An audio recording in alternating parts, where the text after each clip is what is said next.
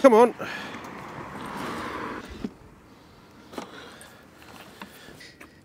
There, I did it.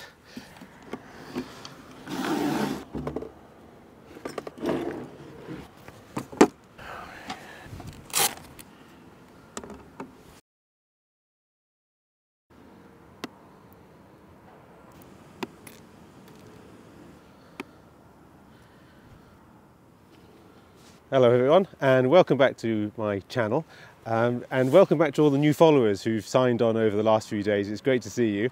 Um, my watercolour little uh, instructional video turned out nicely and uh, I've had lots of followers from that so thank you very much for that and welcome to my channel. Uh, today we're in Wiltshire, a long way away from Edinburgh, right at the very south of England really. So we're, we're visiting people at the moment and going around all over the place. So I'm going to be trying a little landscape here. And we've been traveling around these roads for quite a long time and it's really difficult to find a composition here because when you see a composition, um, there's nowhere to park. So you're, you're, down these little country lanes and uh, so it's been really tricky. We've had a lot of frustration trying to find the right spot and finding the right spot is, is really difficult. Um, it is the most frustrating part of painting for me. But we found a spot now and this is, the, this is what we're going to do. But it, it's, it's a nice open, very English landscape. This is a classic English scene and I love it. It's, it's really nice. I'm going to tackle a small painting because it's quite late in the day now and um, I don't think I could do anything more than that. It's sunset's probably an hour or so, so we haven't got too much time to do this. I forgot my sketchbook, so that's a bit irritating. I would have liked to have done a little, uh, little sketch of this to see what the composition is going to be. It may look simple, but it's not that simple. So I would have loved to have my sketchbook. And one of the things when you travel by train places and go traveling places that I always forget something. So anyway, right, just going to map out the, the composition that I've got. And uh, it looks simple, but it's not simple. It's really not, not a simple composition, this. It's, it's much more complicated than it seems. Um, so I'm just mixing up a little bit of uh, white turpentine and uh, raw umber just to see what I've got. I've got a nice toned board here as well which um, sort of bluey bluey colour but that's a standard for me. You, you, you gotta you gotta get rid of the white so okay there's lots of layers coming in there's a nice nice sort of where the tractors come in, there's some lines coming in here, and that will lead you into, into the scene. Composition is a really important part, and it's a very underrated skill. And I, I'd, I'd, I'd largely ignored it for many years, and um, I thought it was a simple process, but uh, it wasn't. So, something I have had to learn. There we go, then it goes down and they've got a little house over there which I'll pop in. So I'm just indicating things really, just working out in my mind where things are going to go, the far distant hills over there. One of the lovely things about England are the patchwork fields. Okay, so that's, that's the basic composition there. Right, so the next thing to do as always is to get some, get some colour mixing done. trying to get a few pools of colour to work on later on. So a little bit of burnt umber maybe, there, mix it in. I always need these, I, they, they, they act as wells of colour and I find an essential bit of preparation for the picture. And uh, green, the green fields in the distance. Looks a nice colour. Right, now we're going to get some sky colours in there. So a little bit of cobalt blue, which is quite a strong colour. The sky is very light at the moment, so it's mainly white. The clouds are very pretty though, they, there's, a, there's a lovely redness to them. Right, so that's that's all my colours mixed up. Not too many colours. Um, it's not a, not a wide-ranging colour scheme here. So I'm going to start at the top, and this is the underpainting really. So that's that's turpentine in there, which is my first medium I'm going to use. So I'm going to put a bit of blue in there, um, a bit more blue, and I'm going to start at the top of the picture. So right at the very top where it's much bluer, I'm going to start adding colour. A little bit thicker than that. So this is turpentine, so I'm hoping that it's going to dry quite quickly. It's been so wet round here, I, I can't venture any more in the fields because it's so wet, my feet would be drenched. Uh, I don't have any Wellingtons with me. Great, so that's the first top bits and it gets lighter as it comes down. So just brushing it in really. So ho hoping this is going to dry quickly. And then maybe that colour. Get the mauves in the distance. Not trying to be too careful at, at the beginning. Um, I never like to be too careful anywhere, but um, it's, it's especially important at the beginning just to get the colours down and I do the same for watercolor as well. Um, many, many watercolor artists don't like doing that. They like to be, they like to build up in, in sort of gentle layers, but I'm not into that. Okay, now going into the to the far distance, there's I, I, I, like to work from from back to front really. So the the far distance. So I'll paint the hills and then I'll paint the next bit over the top and the next bit over the top. So working from the back to the front is always good for me. Right, again, they're quite blue in the distance. So dipping into my sky colours for the furthest bit away, and just for the first layer. So I'll do the, I'll do the aerial perspective says that the things that are further away are bluer. So I'm going to paint the trees a bluish colour, right in the distance there. And then the field below, that's it, I'll use that, is, is a yellowy. I haven't mixed any yellowy colour in. So a little bit of yellow now. I think that's a bit green.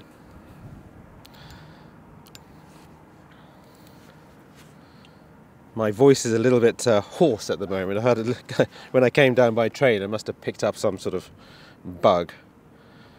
It's always the way in winter. So, uh, yeah, that's that's a nice sort of to try and depict the field in the distance. here.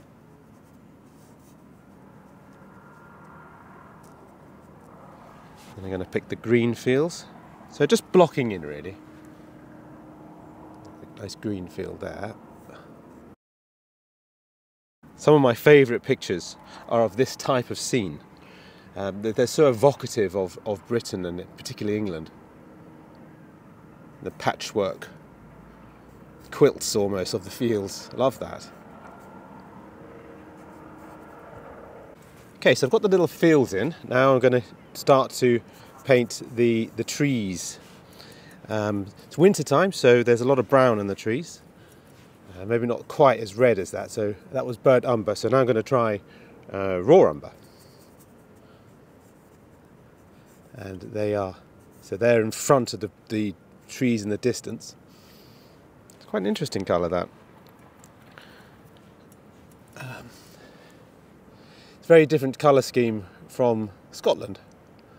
We need a lot of seascapes which tend to be quite blue, so this is the opposite of that.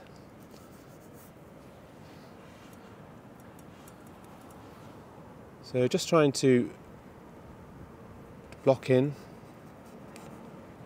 these lovely scenes.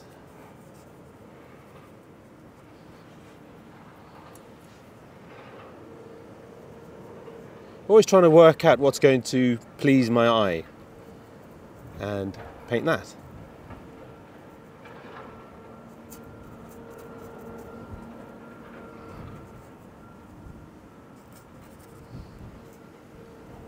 Okay, there's a fence. So just working from top to bottom.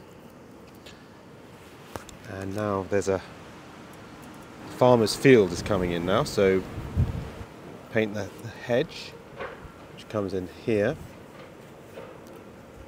dips down and then we have the the farmer's field which is being ploughed but lots of other plants in it so it's got some work to do there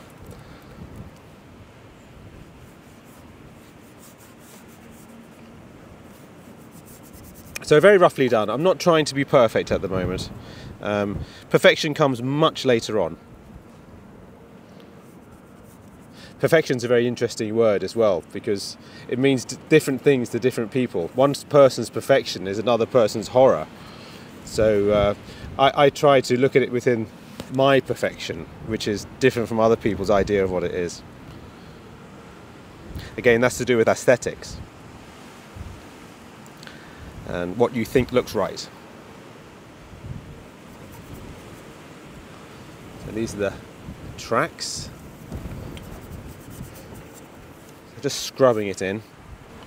I'm near a place called Tisbury, uh, which is near Salisbury. A very little, quaint little village, very, very pretty. Old-fashioned village, lots of little local shops in there. The big supermarkets haven't come there really, so very nice.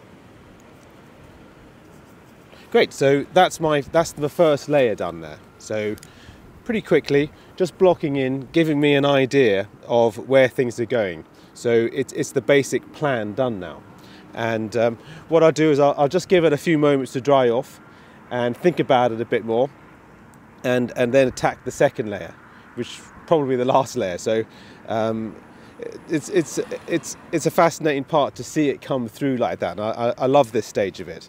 it gives me hope. okay, so I'm, really going to move on with this. That We've got about an hour, an hour or 40 minutes till sunset, so we've got to get a move on. Right, so I'm going to start the second painting now. And this is the sky I'm going to do. So, uh, working over what I've done. And this, the, the sky is so interesting today. It's a beautiful sky. I love the sky today. It's, uh, it looks amazing. The, the variation in colours is really nice. And the, the cloud colour is so good too. Really going to try and capture the lightness in the sky.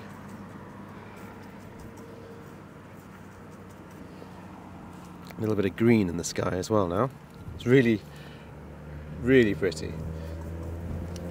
See, I just added a bit of greeny colour into that.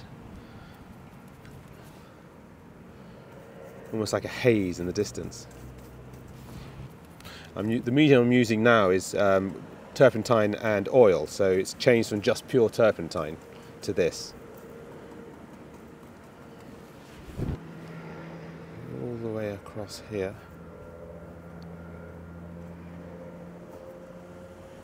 It's quite pretty. When I see a paint mark which is pretty and I've recognised it, I try and leave it I don't, I don't go over it. Trying to get the lightness of that area underneath the cloud. And then it goes down to the, the bottom of the cloud and it's, it's a beautiful purple, grey coloured purple. Really attractive. So these evening colours. Right in the distance here you have this lovely colour of the sky beautiful mauve colour. Isn't that nice? And in, in and then sprinkled in between it are the lonesome clouds, which also have that, that colour in it. One of the one of the great things about painting outdoors um, is that it, it's constantly changing, and if you were to work from a photograph, it wouldn't change at all. And so, sometimes the picture gets worse when you're outside, but sometimes it gets better as well. And this is a case where it's getting better all the time. And if you'd just taken a photograph, you'd have just gone by now. Yay, Tanya's got it.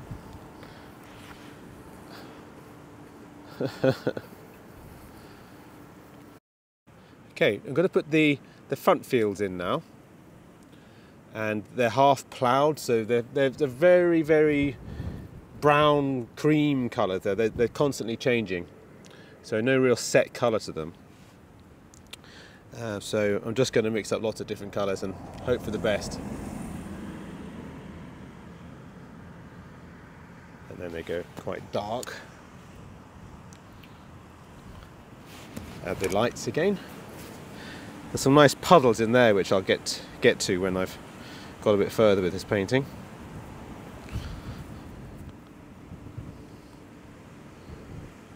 something like that.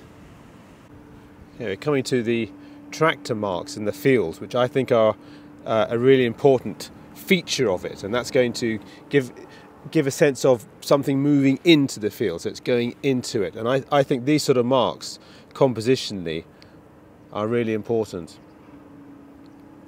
They give that sense of uh, going into a picture, really important. That works. And then on the left, there's a, some more tractor marks coming in.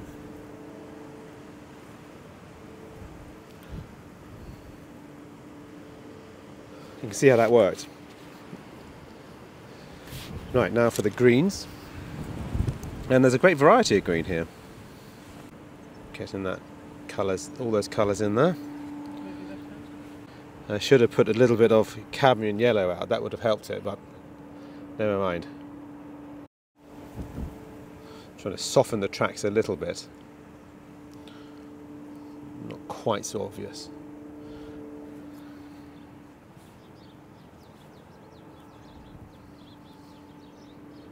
Trying to give the sense of it going down the hill too. Some darker greens.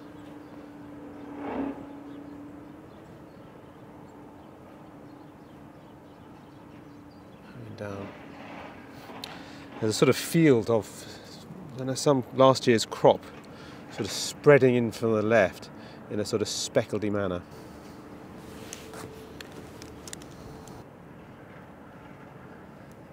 going all the way down.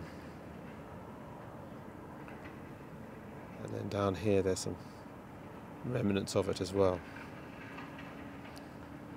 So what, what I what I really like in a, in doing a landscape is to really get the sense that I'm going into the picture. I think that's a really important part of it. So I'm always looking for ways to to to make you go into the picture. Very light. This chap's appeared in the distance, and I'm going to try and pop him in there because it's a really good shape. Got a green top. Oh, he's gone. But he have a hat on, did he? He disappeared so fast. Didn't give me any time at all to see him. Come back. Right, okay, now that that is the the second painting done now and I've, I've, basically indicated everything and I need to start losing my um, my filbert brushes and my, my, my hog's hair brushes and start going on for the smaller brushes to catch the little details of it. So um, let's start with the tree line. Uh, there are lots of um, lots of uh, trees I'm going to indicate now, some dark ones, just to start trying to catch a little bit, giving the hints of hints of trees. Not interested in huge detail, but just to hint enough to make people realise what's what's going on. That's, that's that one, and there's a much lighter tree as well that comes in. So try and capture the light trees now.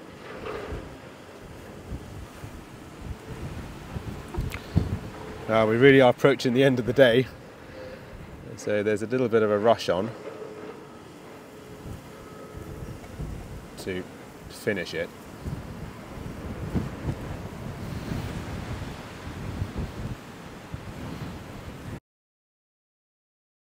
And in the far distance. Now I want to indicate a, a river in the distance, so it's a nice, I'm going to give it a nice light blue colour.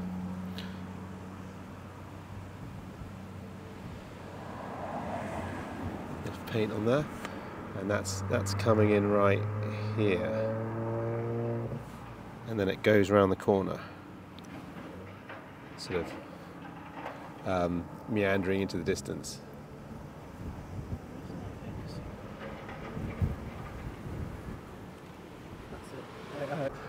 there are little little puddles in the field now which I'm going to try and get.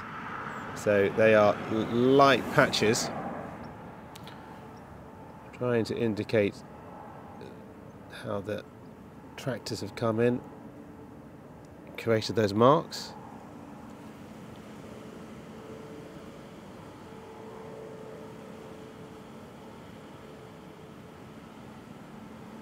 So sodden. it's quite quite a nice touch to it. Really gives really gives a feel of what it's been like around here recently.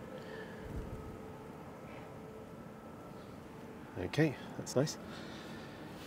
Right, and then we come to a little house in the distance. I'm running out of time a lot now. There's a house here, which I'm going to try and put in.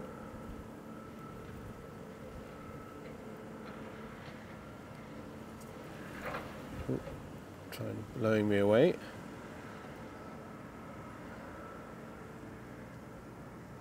It's got a grey roof. Okay, try and get this this field edge in.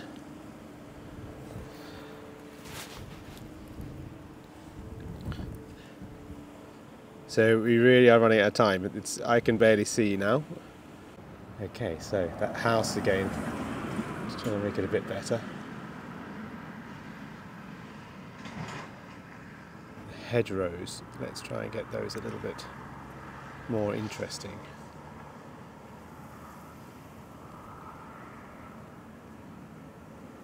Drama. Right, maybe a few more details on the trees and that might be it. Almost there.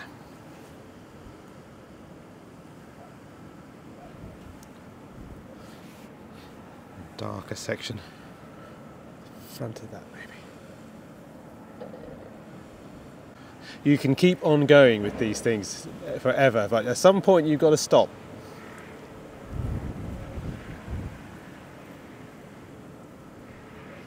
As long as the you got, as long as you got the sense of the feels going into the distance, that's that's what I love. Let's try and get a bit more green in there.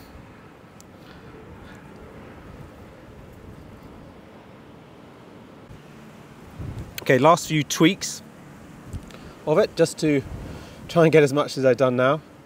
I can barely see it now. Um, everything's a bit blurry.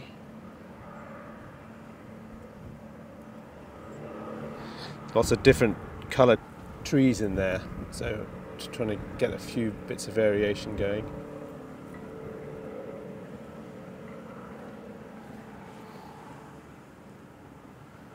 So much subtlety in a landscape.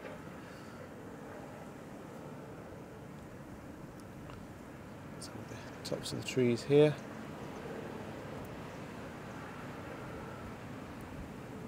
Right, I think that's got it. That's got it. it's just a question of signing it now.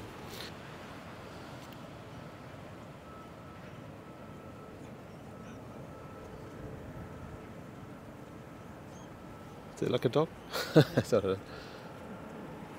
Trying to get your dogs in the picture. Just going to sign it in the bottom right quickly. I've had to put my glasses on. There's so little light at the moment um, that I can't see anything. P O T T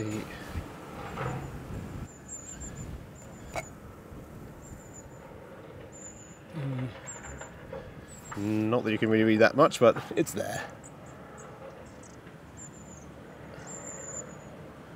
Ah, good enough. Lovely, there we go.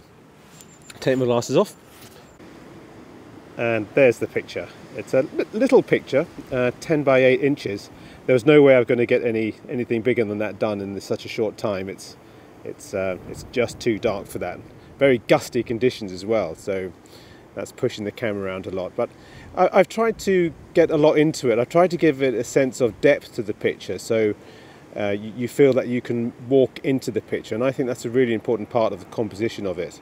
And I've, I've really moved things around quite a lot to to give that sense and to give that sense of space in there. So I hope you like that. Right, I think we've just about got that done. It's been a bit of a rush on it today. Light's really gone now. I don't know what the picture looks like in the camera, but it's really gone now and uh, I, I, like it. I think it's a really nice picture. I always say I like it, but I do like it. It's a really nice picture, and um, I like the colour schemes as well. Now, the classic classic English scene is so attractive. I could do lots of paintings on that one. So there we go. I've signed it, and sorry about the noise in the background. There's a sort of tractors going on cutting hedges, so hope you can. Hope you didn't notice that too much, but uh, yeah, I, am really pleased, and uh, and I hope you enjoyed it too. And uh, thank you very much for watching, and I look forward to seeing you next time. Thanks very much. Bye bye.